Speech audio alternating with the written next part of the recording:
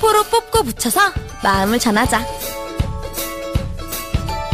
Orange peel under the car seat. I can feel underneath my feet. You'll always be the one to catch me. Easy peasy, lemon squeezy.